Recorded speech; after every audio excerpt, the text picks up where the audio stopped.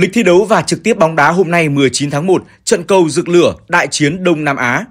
Xin chào quý vị khán giả đã quay trở lại với bản tin bóng đá sáng sớm ngày 19 tháng 1 của chúng tôi. Kính thưa quý vị khán giả thân thương, hôm nay ngày 19 tháng 1 là ngày quan trọng đối với người hâm mộ bóng đá Đông Nam Á khi diễn ra trận đại chiến rực lửa trong khuôn khổ lượt trận thứ hai bảng D Asian Cup 2024 sự chờ đợi, hứng khởi và cả những tình huống bất ngờ không thể đoán trước làm nên sức hấp dẫn khó cưỡng của những trận đấu này.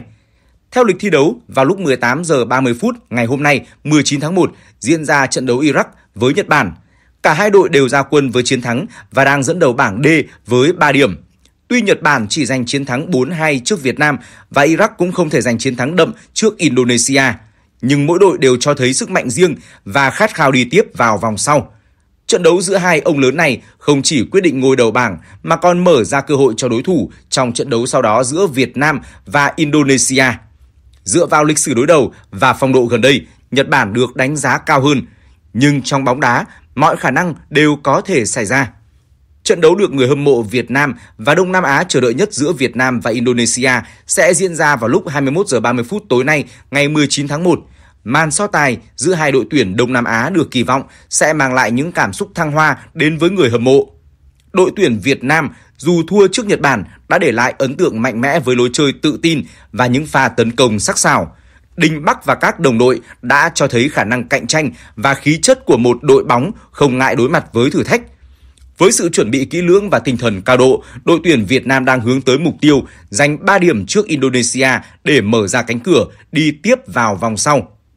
Indonesia dù thua trước Iraq nhưng cũng đã thể hiện sự mạnh mẽ và khả năng phản công nhanh. Các học trò của huấn luyện viên Shin Tae-jong sẵn sàng cho một trận đấu quyết định nơi mỗi pha bóng có thể là chìa khóa dẫn đến chiến thắng. Sự kết hợp của thể lực, chiến thuật và tinh thần quyết tâm sẽ là yếu tố quan trọng mà Indonesia sẽ cần phát huy để đối đầu với đội tuyển Việt Nam.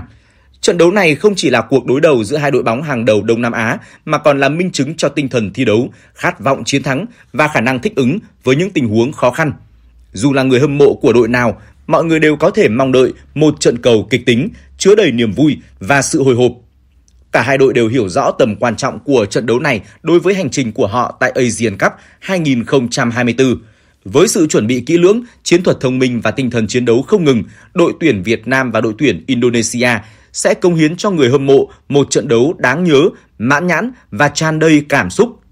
Dưới thời huấn luyện viên Philippe Chausier, U23 hay đội tuyển Việt Nam đều gặp khó khăn mỗi khi đương đầu với những đội bóng cửa dưới. Vậy trước một Indonesia, nhà cầm quân người Pháp sẽ chọn cách tiếp cận như thế nào? Trước đây, dưới thời huấn luyện viên Park Hang-seo, đội tuyển Việt Nam từng có những kết quả rất tốt khi gặp đối thủ yếu.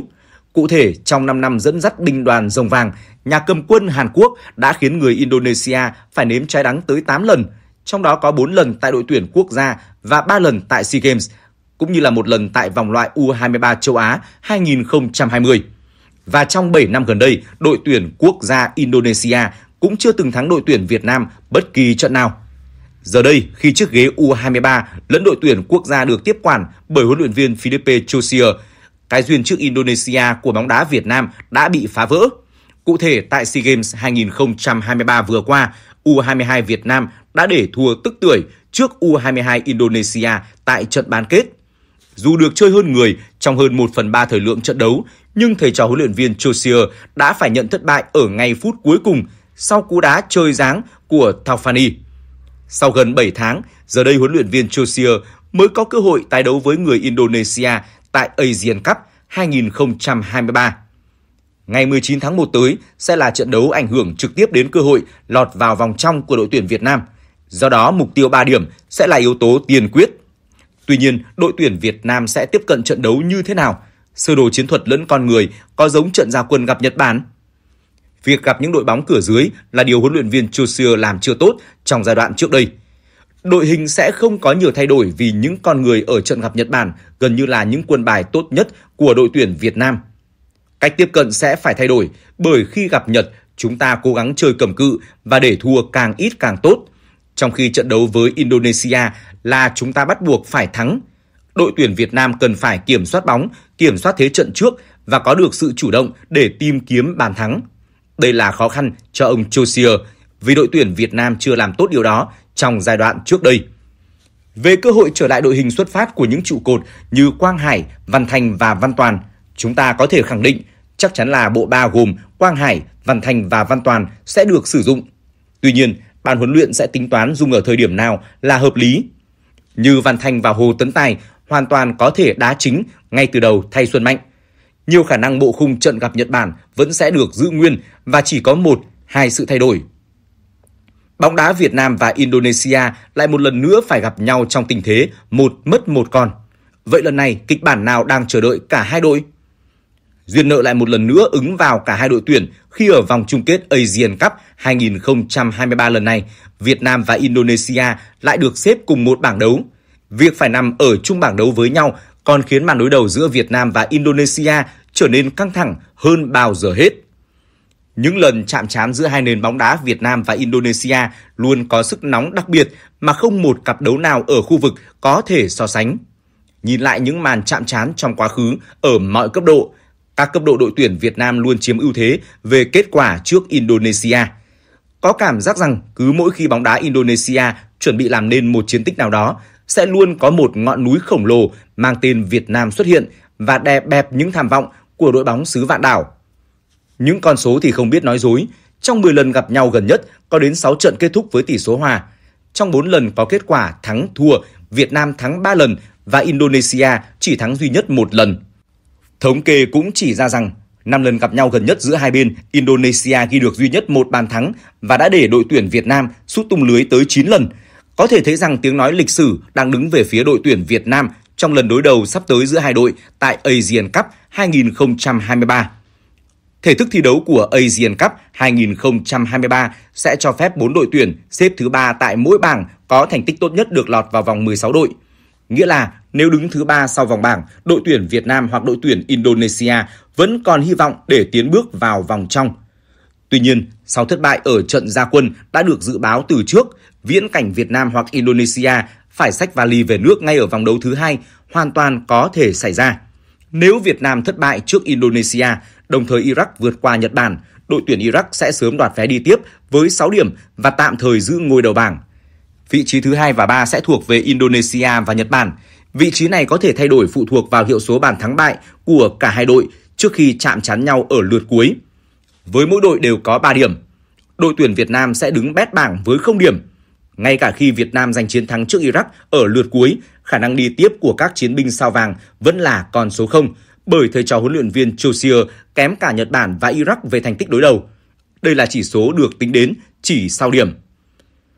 Câu chuyện tương tự cũng sẽ xảy ra với Indonesia nếu Việt Nam vượt qua Indonesia và Nhật Bản đánh bại Iraq. Indonesia sẽ bị loại ngay từ vòng đấu thứ hai. Lúc này, Nhật Bản sẽ đi tiếp với 6 điểm. Indonesia chắc chắn bét bảng do kém cả Việt Nam và Iraq về thành tích đối đầu. Siêu máy tính dự đoán đội tuyển Việt Nam có bao nhiêu cơ hội thắng đội tuyển Indonesia? Siêu máy tính của Opta dự đoán đội tuyển Việt Nam có 45% cơ hội thắng Indonesia trong trận đấu diễn ra vào ngày 19 tháng 1. Hiện đội tuyển Việt Nam và Indonesia đang chia nhau hai vị trí cuối bảng D với cùng không điểm và hiệu số âm 2. Do đó, cuộc đọ sức sắp tới của hai đội cũng được xem là trận đấu quyết định để cạnh tranh vị trí thứ ba, qua đó nuôi hy vọng tiến vào vòng 16 đội. Trước trận đấu này, siêu máy tính của trang thống kê uy tín Opta đã đưa ra dự đoán về tỷ lệ thắng, thua của hai đội. Theo đó, siêu máy tính dự đoán đội tuyển Việt Nam có đến 45% cơ hội giành 3 điểm trọn vẹn trước đội bóng xứ Vạn Đảo. Trong khi đó, tỷ lệ thắng của Indonesia trước Việt Nam chỉ là 29,6% và hòa là 25,4%. Dự đoán của siêu máy tính cũng là điều có thể hiểu được bởi xét về phong độ hay lịch sử đấu trong những lần gặp nhau gần đây, đội tuyển Việt Nam đều nhỉnh hơn Garuda. Lần gần nhất hai đội chạm mặt nhau là ở bán kết lượt về AFF Cup 2022. Khi đó, đoàn quân áo đỏ đã có chiến thắng 2-0, qua đó lấy vé vào chung kết. Báo Indonesia tố AFC thiên vị đội tuyển Việt Nam – Tờ Super Bowl của Indonesia cho rằng đội tuyển Việt Nam được hưởng lợi từ lịch thi đấu tại Asian Cup. Chỉ còn một ngày nữa, trận đấu giữa đội tuyển Việt Nam và Indonesia sẽ chính thức diễn ra. Cuộc đối đầu này nhận về sự quan tâm lớn từ người hâm mộ châu Á nói chung và người hâm mộ Đông Nam Á nói riêng. Mới đây, tờ Super Bowl của Indonesia bất ngờ có bài viết tố AFC thiên vị đội tuyển Việt Nam với tiêu đề AFC mang lợi thế cho đội tuyển Việt Nam trước thềm trận đấu với Indonesia. Cụ thể, tờ này cho rằng Liên đoàn bóng đá châu Á đã giúp Việt Nam có lợi thế lớn về lịch thi đấu. Cụ thể, đội tuyển Việt Nam có nhiều hơn Indonesia một ngày chuẩn bị cho trận đấu. Cả hai đội tuyển Việt Nam và Indonesia đều hướng tới chiến thắng ở lượt đấu thứ hai. Một thất bại có thể khiến một trong hai đội bóng phải dừng bước sớm ở Asian Cup 2023. Chỉ có hai đội đứng đầu mỗi bảng cùng 4 trên 6 đội xếp thứ ba có thành tích tốt nhất giành vé đi tiếp. Ở bảng D, Nhật Bản và Iraq được đánh giá cao và nhiều khả năng sẽ giành hai vị trí dẫn đầu bảng đấu. Điều này khiến cho tính chất trận đấu giữa đội tuyển Việt Nam và Indonesia càng trở nên quan trọng hơn. Trước trận đấu này, AFC đã giúp đội tuyển Việt Nam có lợi thế lớn về lịch thi đấu. Họ có nhiều hơn một ngày nghỉ so với Indonesia. Nhờ đó, các cầu thủ Việt Nam có nhiều thời gian hồi phục hơn. Trong khi Indonesia ra sân trước Iraq, đội tuyển Việt Nam đã được nghỉ ngơi. Super Bowl bình luận. Phát biểu trong buổi họp báo trước thềm trận đấu, huấn luyện viên Philippe Chusier cũng nhấn mạnh tầm quan trọng của trận derby Đông Nam Á. Chúng ta thi đấu với Nhật Bản để khẳng định bản thân, còn đấu với Indonesia để khẳng định vị thế tại Đông Nam Á. Trận đấu với Indonesia không khác gì một trận chung kết AFF Cup hay SEA Games. Ngoài ra, đội nào có chiến thắng sẽ có cơ hội lớn giành vé đi tiếp vào vòng loại trực tiếp. Trận đấu giữa Indonesia và Việt Nam sẽ diễn ra vào lúc 21 giờ 30 phút ngày 18 tháng 1 trên sân vận động Abdullah bin Khalifa. Cảm ơn quý vị và các bạn đã theo dõi video của chúng tôi.